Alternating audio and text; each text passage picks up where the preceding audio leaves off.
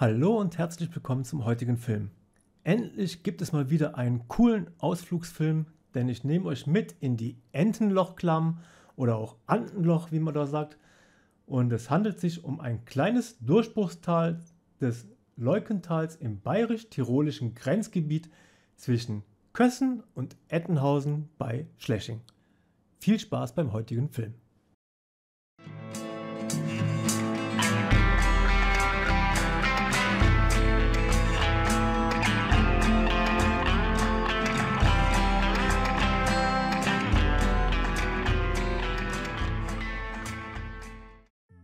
Ich hatte gerade von der Entenlochklamm gesprochen.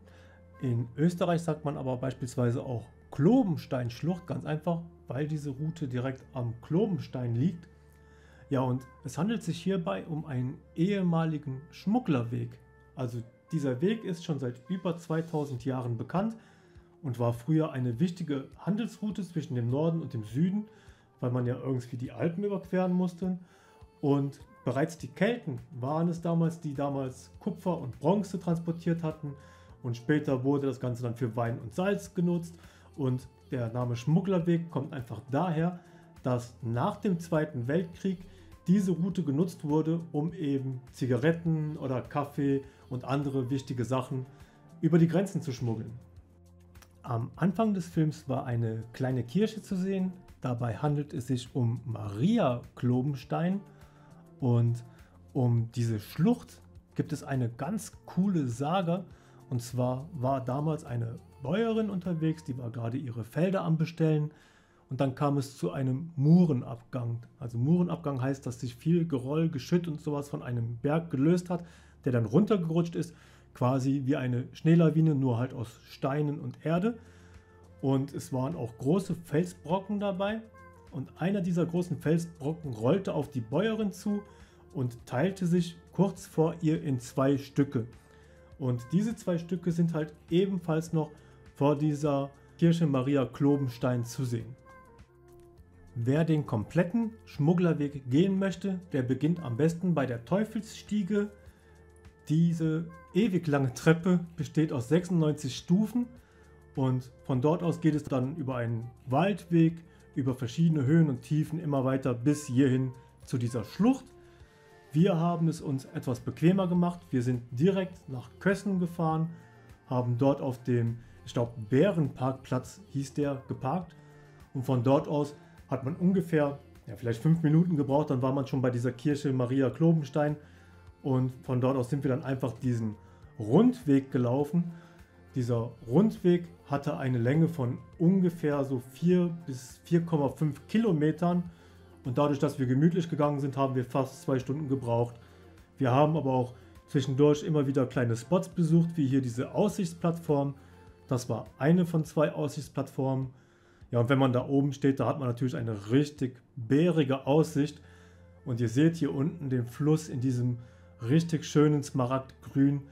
Es ist einfach eine unheimlich schöne Aussicht, ja, und wenn man da oben steht, dann möchte man das einfach genießen und nicht hin und her wetzen. Was ich auch sehr interessant finde, ist halt der Fluss unten am Strand, was wir vorhin im äh, Video gesehen haben. Man kann natürlich auch in das Wasser hineingehen, aber gerade mit kleinen Kindern sollte man aufpassen. Man sieht es leider immer wieder, dann werden die Kinder mit äh, Schwimmflügeln ausgestattet und einfach auf den Fluss losgelassen ja, und gerade in der Mitte dieses Flusses ist eine unheimlich starke Strömung. Also das Kind ist innerhalb weniger Sekunden so weit entfernt, dass man es mit normalen menschlichen Kräften einfach nicht mehr einholen kann. Also bitte Vorsicht. Und das ist ein Fluss, der auch genutzt wird von Kajakfahrern. Das heißt, es gibt da wilde Passagen. Das ist also nicht zu unterschätzen, auch wenn das aussieht wie so ein kleiner Gebirgsfach. Der hat es auf jeden Fall in sich. Wo wir aber gerade beim Thema Kinder sind, ich persönlich finde, dass dieser komplette Rundweg sehr familienfreundlich ist. Wir waren damals den Schmugglerweg, also den kompletten Schmugglerweg gegangen, als unser Jüngster vielleicht vier oder höchstens fünf Jahre alt war. Natürlich ist es anstrengend für die Kinder wie auch für die Eltern, weil es immer wieder rauf geht, dann geht es wieder runter, jede Menge Treppen sind äh, zu bewältigen.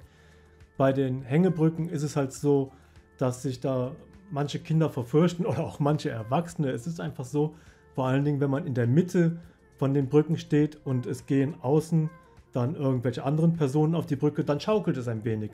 Es ist jetzt nicht so zu vergleichen, dass man das Gefühl hat, man steht auf einem Trampolin, aber man merkt halt schon die Schwingungen der Brücke und dem einen oder anderen wird da etwas mulmig zumute. Ansonsten ist es aber ein unheimlich schöner Weg, der auch Kinder zu begeistern weiß, weil es sehr viele schöne Eindrücke zu gewinnen gibt. Also man sieht unheimlich viele äh, interessante Felsformationen. Natürlich hat man immer wieder einen schönen Blick auf den Fluss unten. Das ist natürlich unheimlich schön anzuschauen. Dann die Natur an sich, die ganzen Bäume, die dort stehen. Man kann den Kindern wirklich sehr viele verschiedene Arten von Bäumen zeigen, weil es ein sehr schöner Mischwald ist mit Fichten, Kiefern, Buchen, äh, Eiche. Alles Mögliche steht da. Verschiedene Fahnen sind dort zu sehen. Und ja, ich finde gerade für Kinder ist es halt unheimlich interessant.